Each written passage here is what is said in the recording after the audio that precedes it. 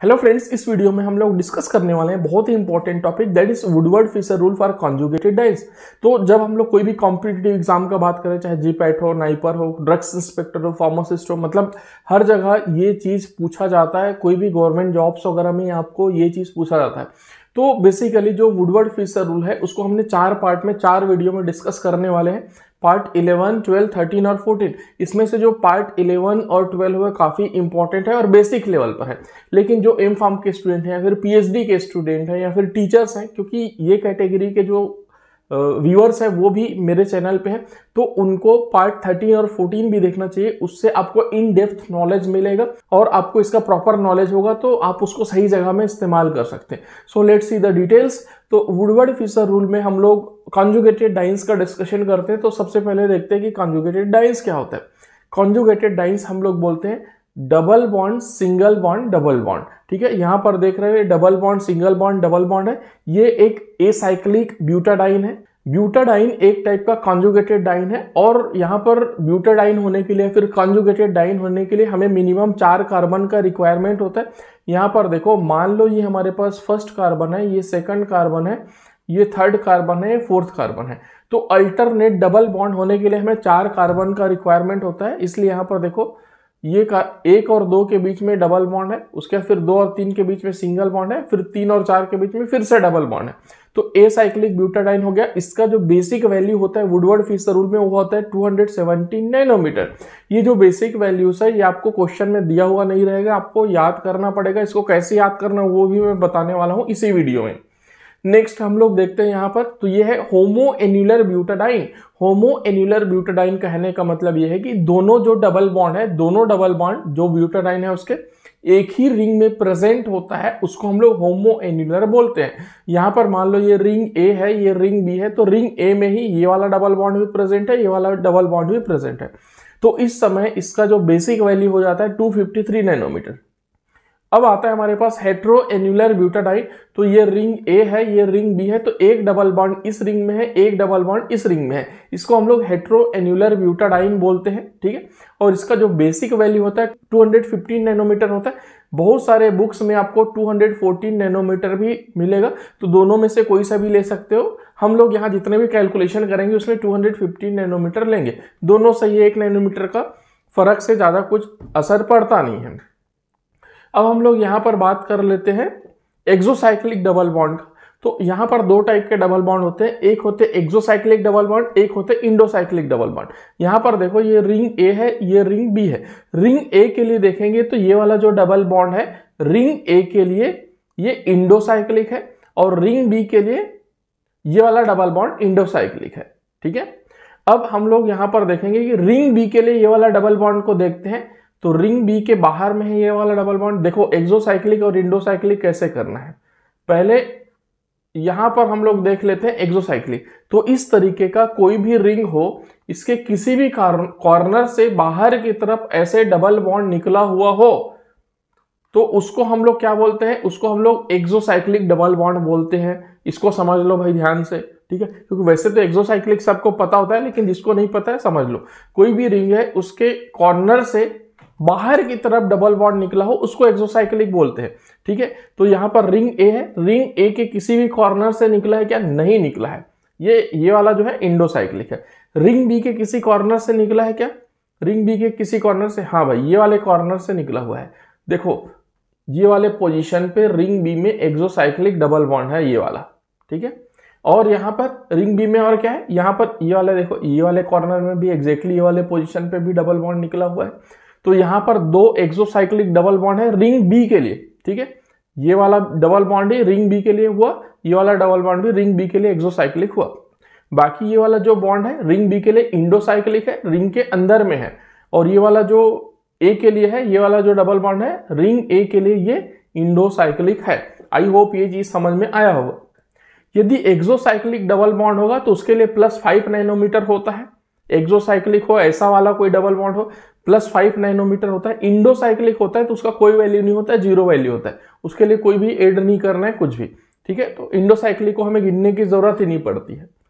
Next हम लोग यहाँ पर पढ़ रहे हैं रिंग रेसिड्यू रिंग रेसिड्यू मतलब ये होता है कि जितना भी कॉन्जुगेटेड डाइंस है, उस कॉन्जुगेशन को कंप्लीटली एक हम लोग ले लेते हैं मतलब एक सेलेक्ट कर लेते हैं कि जैसे कि यहाँ पर ये double bond single bond double bond single bond double bond ये कॉन्जुगेशन चल रहा है। तो अब इस कॉन्जुगेटेड सिस्टम को हम लोग जो बाकी के रिंग रिंग है, जो सैचुरेटेड है, जो अनकॉन्जुगेटेड है, उससे हम लोग ये कॉन्जुगेशन को अलग कैसे कर सकते हैं? तो इसको तीन जगह से कट लगा करके अलग कर सकते हैं। एक हम लोग यहाँ का कट लगाएँगे एक हम लोग यहाँ पर कट लगाएँगे और एक हम लोग यहाँ पर कट लगाएँगे। तो बाकी के रिंग से ये वाला सिस्टम अलग हो गया। अब यहाँ पर देखो, यहाँ पर इस स्ट्रक्चर को हम लोग लिखेंगे जो कट लगाने के बाद है उसको। तो ये इस तरीके से हो जाएगा। ये ये ऊपर की तरफ़ है तो मैं इसको नीचे की तरफ़ बना देता हूँ। ये इस तरीके के स्ट्रक्चर आ जाएगा, ठीक है? यहाँ पर डबल बॉन्ड से स्टार्ट हो रहा है डबल बॉन्ड से खत्म हो रहा है। तो ये जो कितने जगह से कट लगाया उसी को हम लोग रिंग रेसिड्यू बोलते हैं और एक रिंग रेसिड्यू का जो वैल्यू होता है प्लस फाइव नैनोमीटर होता है या फिर एल्काइल सब्सटीट्यूट होता है। एल्काइल सब्सटीट्यूट कब होता है? जब ये ओपन चेन में होता है। ये हमारे पास कॉन्जुगेटेड डाइन है और एक कट हम लोग यहाँ पर लगाएँगे, एक कट हम लोग यहाँ पर लगाएँगे, एक कट हम लोग यहाँ पर लगाएँगे। तो ये जो स्ट्रक्चर है, ये कुछ इस तरीके से ये बचेगा, ये, है ना? यहाँ पर तो कट लगा दिए, इस तरीके से बचेगा। ठीक है? तो तीन कट लगाए। तो एक कट का वैल्यू प्लस फाइव नैनोमीटर है। रिंग रेसिड्यू रिंग में जब कट लगाते हैं, उसको बोलते हैं एल्काइल सब्सटीट्यूट जब ओपन ओपन चेन में कट लगाते हैं, उसको बोलते हैं। ठीक है? उसको बाकी सिस्टम से काटना है, वो कॉन्जुगेटेड सिस्टम को। तो यहाँ पर एल्काइल सब्सटीट्यूट हो या फिर रिंग रेसिड्यू एक कट के लिए फाइव प्लस फाइव नैनोमीटर यहाँ पर तीन कट है तो फाइव इंटू थ्री फिफ्टीन हो जाएगा। यहाँ पर भी तीन है फाइव इंटू थ्री फिफ्टीन हो जाएगा। कहीं पर एक होगा तो फाइव ही होगा। कहीं पर चार है तो ट्वेंटी हो जाएगा। दो है तो ट्वेंटी टेन हो जाएगा। ठीक है? अब यहाँ पर आता है एक, मान लो ये हमारे पास एक कॉन्जुगेटेड डाइन है। अब देखो, इसको कैसा कॉन्जुगेटेड डाइन आप गिनोगे? यहाँ पर एक तो डबल बॉन्ड बाहर में है रिंग के, एक डबल बॉन्ड अंदर में है। ठीक है? तो यहाँ पर ध्यान देने वाली बात है, कोई भी कॉन्जुगेटेड डाइन है, उसका एक प्रियोरिटी ऑर्डर होता है। मान लो एक ही एग्ज़ाम्पल है, उसमें आपके पास एसाइक्लिक भी है होमो एन्यूलर भी है और हेट्रो एन्यूलर भी है। तो फ़र्स्ट प्रियोरिटी किसको दोगे? इसको होमो एन्यूलर को फ़र्स्ट उसका बेसिक वैल्यू लोगे। बाकी सब फिर ये सेकंड आएगा और ये थर्ड आएगा। ये किस पे डिपेंड करता है? 253 है, ठीक है? तो फ़र्स्ट आ गया आपके पास 253 नैनोमीटर सेकंड आपके पास आ गया 270 नैनोमीटर मतलब जितना नैनोमीटर ज़्यादा है, उसका उसको ज़्यादा प्रियोरिटी देते हैं। थर्ड आ गया आपके पास 215 नैनोमीटर मतलब एक पर्टिकुलर एग्जांपल है जिसमें तीनों है तो बेसिक वैल्यू 253 नैनोमीटर का लोगे और इन दोनों को डबल बॉन्ड एक्सटेंडिंग कॉन्जुगेशन गिनते हैं। डबल बॉन्ड एक्सटेंडिंग कॉन्जुगेशन क्या होता है? अभी मैं समझाने वाला हूँ। यदि आपके पास ए साइक्लिक ये वाला ए साइक्लिक और हेट्रोएन्यूलर है एक ही सिस्टम में तो वहाँ पर बेसिक वैल्यू 217 वाला लोगे ए साइक्लिक का, क्योंकि उसका वैल्यू ज़्यादा होता है। ठीक है? कंडीशन साफ़ हो गया। तो ये हमारे पास बेसिक वैल्यू इसका लेंगे। जैसे अब यहाँ पर एक और सवाल आता है। एक तो हमारे रिंग के अंदर में है, एक हमारे रिंग के बाहर में है तो इसको क्या गिनोगे? इसको हम लोग ए साइक्लिक गिनते हैं। उसके बाद फिर यहाँ पर double bond single bond double bond अब यहाँ पर फिर से देखो double bond single bond double bond एक और कॉन्जुगेशन बन रहा है, जो हमने यहाँ पर ये ऑरेंज कलर से घेरा हुआ है। तो इसी को बोलते हैं डबल बॉन्ड एक्सटेंडिंग कॉन्जुगेशन तो यहाँ पर इसका जो बेसिक वैल्यू होगा ए साइक्लिक हो गया तो इसका 270 नैनोमीटर तो आप लोगे ही। उसके बाद फिर ये जो डबल बॉन्ड एक्सटेंडिंग कॉन्जुगेशन है, उसके लिए प्लस थर्टी नैनोमीटर और आप उस कैलकुलेशन में ऐड करोगे। इससे रिलेटेड जब एग्जांपल देंगे, आपको ये चीज़ें और अच्छे से क्लियर होंगी। अब हम लोग यहाँ पर ऑक्सोक्रोम्स की बात करते हैं। ऑक्सोक्रोम क्या होता है? क्रोमोफोर क्या होता है? सब मैं पढ़ा चुका हूँ। यदि O C O C S three group है तो उसके लिए कोई एड कुछ एड नहीं करना है। ज़ीरो नैनोमीटर यदि आपके पास क्लोरीन या फिर ब्रोमीन है तो प्लस फाइव नैनोमीटर एड होगा। ओ आर ग्रुप है कोई तो वहाँ पर सिक्स नैनोमीटर हो जाएगा। ठीक है? आर की जगह एच भी हो सकता है सी एस थ्री हो सकता है सी टू एच फाइव हो सकता है। एस आर ग्रुप होगा तो प्लस थर्टी नैनोमीटर होगा। एन आर टू होगा तो सिक्सटी नैनोमीटर होगा। उसके बाद फिर सॉल्वेंट इंक्रीमेंट होता है। यूजुअली ये जो कैलकुलेशन आपको पूछता है ना, वो इथेनॉल या फिर मिथेनॉल में पूछता है और इथेनॉल और मिथेनॉल के हिसाब से इन वैल्यूज़ को लेकर के जो भी कैलकुलेशन करोगे वो सही है। लेकिन मान लो आपको सॉल्वेंट अलग से दे देता है क्वेश्चन में, जो कि नहीं देता है। लेकिन यदि दे देता है क्लोरोफॉर्म में तो जो भी फाइनल वैल्यू आएगा उसमें माइनस वन कर दोगे। मान लो ईथर में दे देता है तो माइनस सेवन कर दोगे। साइक्लोहेक्सेन में दे देता है तो माइनस इलेवन नैनोमीटर कर दोगे। फाइनल वैल्यू में। फाइनल वैल्यू क्या होता है? अभी मैं बताने वाला हूँ। वाटर में देता है तो प्लस एट नैनोमीटर करोगे। तो ये हो गया वुडवर्ड फिशर रूल के लिए बेसिक वैल्यूज़ और इन वैल्यूज़ को आपको याद करने अब आप बोलोगे कि याद कैसे होएगा? तो ये जो वैल्यूज़ है, एक ए फोर सीट में लिखो। और लिखने के बाद में इसको आप जहाँ पर स्टडी टेबल पढ़ में बैठते हो, वहाँ पर सामने में चिपका दो, दीवार में रोज देखोगे तो याद हो जाएगा। कहीं पर भी जहाँ पर चिपकाना, चाहे आपको बाथरूम में भी चिपकाना है तो वहाँ चिपका दो। जहाँ पर आपकी नज़र उस पर पड़े डेली पाँच मिनट देखोगे तो याद हो जाएगा आराम से दस पंद्रह दिन में। अब यहाँ पर हम लोग एग्जाम्पल्स लेते हैं, उसका कैलकुलेशन करेंगे। तो यहाँ पर ये ब्यूटाडाइन है, इसको हमने घेर लिया। ठीक है? तो बेसिक वैल्यू क्या हो जाएगा? ये तो ए साइक्लिक ब्यूटाडाइन है। ए साइक्लिक के लिए बेसिक वैल्यू मैंने बताया है 217 नैनोमीटर तो लिख दो भाई 217 नैनोमीटर एल्काइल सब्सटीट्यूट अब ये देखो कहाँ कहाँ पर से कट लगाना पड़ेगा। एक कट यहाँ से लगेगा, एक कट यहाँ से लगेगा। तो एल्काइल सब्सटीट्यूट कितना है? दो है। दो है। एक का वैल्यू पाँच होता है फाइव इंटू टू तो ये हो गया टेन नैनोमीटर और कुछ है क्या? इसमें और कुछ है ही नहीं। तो दोनों को जोड़ दो। जोड़ने के बाद 217 प्लस टेन 227 नैनोमीटर तो इससे पहले का जो आपने इंस्ट्रूमेंटेशन वीडियो देखा है ना, ये पर्टिकुलर कंपाउंड को लेकर के यूवी विजिबल इंस्ट्रूमेंट में एनालाइज करोगे तो वो 217 नैनोमीटर 227 नैनोमीटर में ये अपना पीक दे देगा इस तरीके से। लैमडा मैक्स ये हम लोग जो टोटल वैल्यू कैलकुलेट कर रहे हैं, हम लोग लैमडा मैक्स कैलकुलेट कर रहे हैं। चलो दूसरा एग्ज़ाम्पल हम लोग ले लेते हैं। तो यहाँ पर कॉन्जुगेटेड डाइन हो गया होमो एन्यूलर है, एक ही रिंग सिस्टम है इसका बेसिक वैल्यू होता है 253 नैनोमीटर ये सारी चीज़ें मुझे याद है तो आपको भी याद हो जाएगा। याद करोगे तो रिंग रेसिड्यू एक कट, ये देखो, ये गोल घेरे हुए हैं ना तो एक, ये जो लाइन है, जो गोल घेरे हुए हमने ब्लू से, वो कौन कौन से जगह पे कट कर रहा है? रिंग को। एक यहाँ से कर रहा है, एक यहाँ से कर रहा है, एक यहाँ से, तीन जगह से। तो रिंग रेसिड्यू कितना हो गया? थ्री इंटू फाइव तो ये हो गया फिफ्टीन नैनोमीटर अब यहाँ पर देखो रिंग सिस्टम है तो हमें एक्सोसाइक्लिक वो देखना है। एक्सोसाइक्लिक डबल बॉन्ड ए और बी तो ए के लिए दोनों बॉन्ड तो क्या है? इंडोसाइक्लिक है, लेकिन बी के लिए यहाँ पर देखो बी वाला जो है ना बी वाला जो रिंग है, उसके इस कॉर्नर से देखो, ये वाला डबल बॉन्ड निकला हुआ है। एक्सोसाइक्लिक डबल बॉन्ड हुआ ना तो एक्सोसाइक्लिक डबल बॉन्ड का वैल्यू कितना होता है? फाइव नैनोमीटर और कुछ होता है क्या? नहीं होता है। तो जोड़ करके रख दो। 253 प्लस 15 प्लस 5 तो 15 प्लस 5 20 हो गया 253 टोटल हो गया 273 नैनोमीटर। अब चलो एक और एग्जांपल ले लेते हैं। आप यदि बी फॉर्म सेवन सेमेस्टर के स्टूडेंट्स हैं और आपको अपने सेवन सेमेस्टर के लिए बुक चाहिए, चाहे इंस्ट्रूमेंटल एनालिसिस हो, चाहे इंडस्ट्रियल फार्मेसी टू हो, चाहे फार्मेसी प्रैक्टिस हो, या फिर नोवल ड्रग डिलीवरी सिस्टम हो तो इसका बुक्स हमारे पास अवेलेबल है।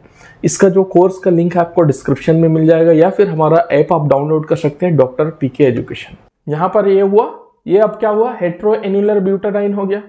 ये है ना double bond single bond double bond तो ये रिंग ए है, ये रिंग बी है। ए में एक डबल बॉन्ड बी में एक डबल बॉन्ड हेट्रो एन्यूलर कितना होता है बेसिक वैल्यू 215 नैनोमीटर हो गया भाई। उसके फिर रिंग रेसिड्यू ये देखो, ये गोला घेर है तो एक यहाँ से कट रहा है, एक यहाँ पर काटना पड़ेगा, एक यहाँ पर काटना पड़ेगा। तीन जगह। तो थ्री इंटू फाइव ये कितना हो गया? फिफ्टीन नैनोमीटर और कुछ हुआ क्या? रिंग ए के लिए ये तो इंडोसाइक्लिक है, लेकिन रिंग बी के लिए एक्सोसाइक्लिक है, ठीक है? तो एक्सोसाइक्लिक डबल बॉन्ड का वैल्यू कितना हो गया? फाइव नैनोमीटर और कुछ है क्या? और कुछ नहीं है। जोड़ दो भाई। 215 प्लस 15 230 और ये हो गया 235 नैनोमीटर पे अपना लैमडा मैक्स दे देगा। ये लैमडा मैक्स है, ठीक है? ये लैमडा मैक्स है। इतने पे अपना मैक्सिमम एब्जॉर्प्शन देगा। अब हम लोग बात कर लेते हैं, मान लो इस तरीके का रिंग सिस्टम दे दिया। तो यहाँ पर क्या होगा? इस तरीके से कॉन्जुगेटेड डाइन है। अब एक इस रिंग में है, दूसरा इस रिंग में है। चाहे ये हमारे पास इस तरीके से जुड़ा है, ऐसा नहीं जुड़ा है तो भी इसको हम लोग जोड़ेंगे, इसको हम लोग गिनेंगे। हेट्रो एन्यूलर ये अलग अलग रिंग में है ना। मान लो ये रिंग ए है, ये रिंग बी है तो हेट्रो एन्यूलर हो गया। तो इसको हम लोग वैल्यू लेंगे 250 नैनोमीटर अब इसमें हम लोग क्या लगाएँगे? रिंग रेसिड्यू एक कट यहाँ से मारो, एक कट यहाँ से मारो, एक कट यहाँ से, एक कट यहाँ से। तो कितना हो गया? चार into five four into five कितना हो गया? ट्वेंटी नैनोमीटर और कुछ है क्या? कुछ नहीं है। तो इसका भी हो गया आपके पास टू थर्टी फाइव नैनोमीटर यहाँ पर कुछ और एग्ज़ाम्पल ले लेते हैं हम लोग। थोड़ा सा टफ एग्ज़ाम्पल ले लेते हैं। अभी तक हमने इजी इजी एग्ज़ाम्पल किए थे। तो यहाँ पर देखो ये है हमारे पास एक कॉन्जुगेटेड डाइन ठीक है? तो बेसिक वैल्यू हम लोग यहाँ पर ए साइक्लिक है और ये रिंग के अंदर में है। तो इसको हम लोग लेते हैं ए साइक्लिक ठीक है? तो बेसिक वैल्यू तो यही होगा, बाकी सारे तो हेट्रोइन्यूलर है। तो ए साइक्लिक का वैल्यू कितना होता है? 217 नैनोमीटर एक डबल बॉन्ड एक्सटेंडिंग कॉन्जुगेशन ये हुआ, एक डबल बॉन्ड एक्सटेंडिंग कॉन्जुगेशन ये हुआ। तो डबल बॉन्ड एक्सटेंडिंग कॉन्जुगेशन का वैल्यू कितना होता है? थर्टी तो यहाँ पर दो है टू इंटू थर्टी तो इसका वैल्यू कितना हो जाएगा? सिक्सटी नैनोमीटर हो जाएगा। उसके बाद फिर रिंग रेसिड्यू काटो भाई। कहाँ कहाँ से काट सकते? एक यहाँ से, एक यहाँ से, एक यहाँ से, एक यहाँ से। चार जगह से कट सकता है। तो ये हो जाएगा फोर इंटू फाइव तो इसका वैल्यू हो जाएगा ट्वेंटी नैनोमीटर होगा कि नहीं होगा? अब एक्सोसाइक्लिक डबल बॉन्ड ये रिंग ए है, ये रिंग बी है, ये रिंग सी है। तो रिंग ए के लिए ये वाले कॉर्नर पे निकला हुआ है। रिंग बी के लिए ये वाले कॉर्नर पे निकला हुआ है सी के लिए ये वाले कॉर्नर पे निकला है। तो तीन एक्सोसाइक्लिक डबल बॉन्ड हो गए और ये जो, ये वाला जो सी वाला है तो ये तो सी के लिए तो इंडोसाइक्लिक होगा तो इसको तो नहीं गिनेंगे। तो अब क्या हो जाएगा? एक्सोसाइक्लिक डबल बॉन्ड कितना हो गया? थ्री इंटू फाइव तो ये भी हो गया हमारे पास फिफ्टीन नैनोमीटर ठीक है? और कुछ है क्या? और कुछ नहीं है, जोड़ दो भाई। तो ये कितना हो गया? सिक्सटी और ट्वेंटी एट्टी और ये हो गया fifteen ninety five ninety five और टू हंड्रेड सेवनटीन करोगे तो ये होता है थ्री हंड्रेड ट्वेल्व नैनोमीटर। ये इसका लेमडा मैक्स हो गया भाई। यू विजिबल स्पेक्ट्रोफोटोमीटर में देखोगे तो 312 नैनोमीटर में दिख जाएगा। नेक्स्ट, एक और एग्जांपल हम लोग ले लेते हैं, फिर ये वीडियो खत्म हो जाएगा। फिर नेक्स्ट वीडियो में अल्फ़ा, बीटा वगैरह का डिस्कशन करने वाले हैं। तो यहाँ पर देखो, यहाँ पर तो बहुत सारा कॉन्जुगेशन दिख रहे हैं। अब देखो पहले ये कॉन्जुगेशन देखो तो ये जो रिंग सिस्टम है, ठीक है, ठीक से देखना, इसको मैं फिर से ड्रॉ कर रहा हूँ। इसको ये ऐसा बना हुआ है और ये डबल बॉन्ड कॉमन है। रिंग ए बी सी और डी के लिए। ए और बी के लिए कॉमन है तो इस डबल बॉन्ड को हम लोग इधर भी तो लिख सकते हैं। तो ये क्या हो जाएगा? ये वाला डबल बॉन्ड बी में भी लिख सकते हैं, इधर ए में भी लिख सकते हैं। उस समय हमेशा आपको इसको अज्यूम करना है कि होमो एन्यूलर जहाँ पर भी पॉसिबल हो, आपको उसको होमो एन्यूलर बनाने की कोशिश करनी है। तो यहाँ पर जो बेसिक वैल्यू होगा वो होमो एन्यूलर का होगा। ये डबल बॉन्ड यहाँ भी लिखो, यहाँ भी लिखो, एक ही है। तो हम लोग ये वाला कैलकुलेट करेंगे। 253 नैनोमीटर वाला, क्योंकि इसको प्रियोरिटी देते हैं। हमेशा हम लोग को लैमडा मैक्स ऐसा कैलकुलेट करना चाहिए वुडवर्ड फिशर में कि उसका जो लैमडा मैक्स का वैल्यू है मैक्सिमम है। अब ये क्या हो जाएगा? Double bond, single bond, double bond, ये हमारे पास 253 नैनोमीटर होमोन्यूलर हो गया। अब double bond, single bond, double bond तो ये अलग अलग रिंग में है, ठीक है? तो ये हो गया डबल बॉन्ड एक्सटेंडिंग कॉन्जुगेशन वो होमोन्यूलर हो या फिर हेट्रोन्यूलर हो, कोई मतलब नहीं है। उसका वैल्यू सीधा थर्टी होता है तो ये हो जाएगा वन इंटू थर्टी ठीक है? तो इसका हो गया थर्टी नैनोमीटर उसके बाद फिर रिंग रेसिड्यू, अब इसको काटो भाई, एक यहाँ से कटेगा, एक यहाँ से कटेगा एक यहाँ से कटेगा, एक यहाँ से कटेगा, एक यहाँ से कटेगा।